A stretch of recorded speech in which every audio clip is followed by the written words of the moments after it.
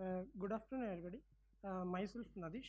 I work for Java SE team at Oracle, and today I am going to talk about Invoke Dynamic, which is a new bytecode introduced in Java 7. Uh, in this talk, basically, I am going to cover basically answer three questions: Why Invoke Dynamic? What features it's provide, and how it's provided. Uh, if you have any question, you can ask in between itself. Don't wait till end because if you lost something in between, I think you lost the entire time. Okay. Am I audible? Okay.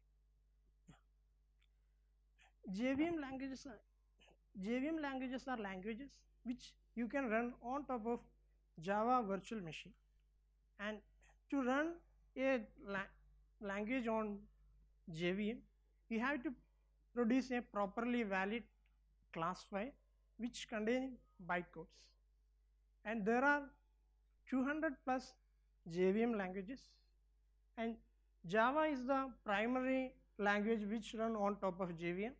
There are other languages like JRuby, Jython, JavaScript, Groovy, Smalltalk. Most whatever language you name, it will be it will have a JVM equivalent version.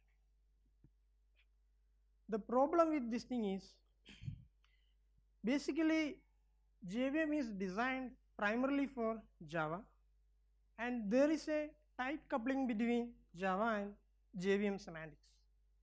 But semantics of other JVM language, take example Python, its semantics is completely different from Java. For example, Python is a dynamically typed language, but whereas Java is a statically typed language. Dynamic type in what I meant is this is a Python code. There you can this is a function which I define. Here, uh, this function this function will take two arguments, but contrary to Java, here we are not defining any type, and the type will the variable will assign the type at runtime. If you are passing some integer to sum, then a and b will assume yeah, a and b will assign to the type in at the runtime.